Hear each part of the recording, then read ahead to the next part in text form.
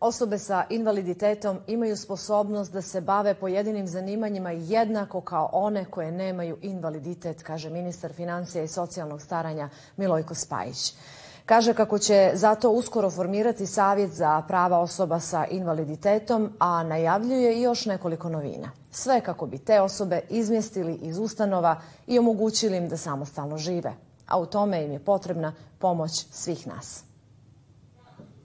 Unapređenje života osoba sa invaliditetom važan je zadatak kojim će se baviti Ministarstvo financija i socijalnog staranja. Zato trenutno rade na projektu koji će tim osobama omogućiti jednak pristup centrima za socijalni rad, ali i drugim javnim ustanovama. Uskoro formiranje Savjeta za prava lica sa invaliditetom na nivou vladinog tijela. Drugo, usvajanje akcionog plana za realizaciju preporuka e, Komiteta Ujedinjenih nacija za prava lica sa invaliditetom. Broj 3. Početak realizacije projekta reforma sistema utvrđivanja invaliditeta u saradnji sa UNDP-em. Ovo je jedna od ključnih tački. Međutim, za sam proces i samostalni život osoba, zajednici osoba sa invaliditetom nisu dovoljni napori samo jednog resora, već se na ovom polju mora djelovati intersektorski. A šefica delegacije Evropske unije u Crnoj Gori, Oana Kristina Popa, kazala je da je nedostatak empatije za osobe sa invaliditetom zabrinjavajući, za šta nema i ne bi smjelo da postoji opravdanja.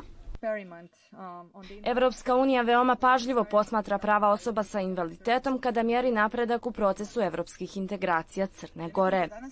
U godišnjem izvještaju za 2020. godinu prepoznali smo da je postignut određeni napredak, ali treba učiniti još mnogo toga. Sada je vrijeme da Crna Gora pojača napore na iskorinjavanju diskriminacije na svim frontovima.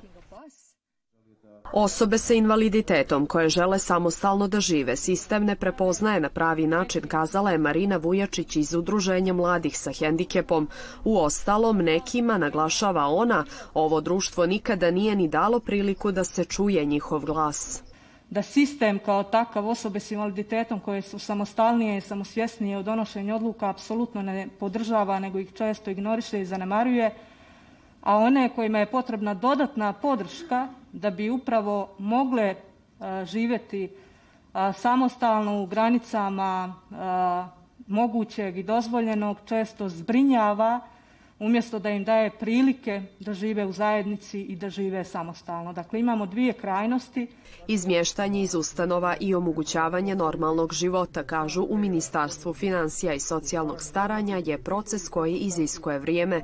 Ministar Spajić kaže da će krenuti sa javnom ustanovom Komanski most, jer, kako kaže, svaka osoba sa invaliditetom ima sposobnost i mogućnost da se bavi nekim poslom ili zanimanjem, ništa više ili manje od osobe koje nemaju invaliditet.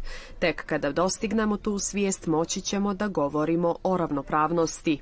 Marica Bulatović, Prva televizija.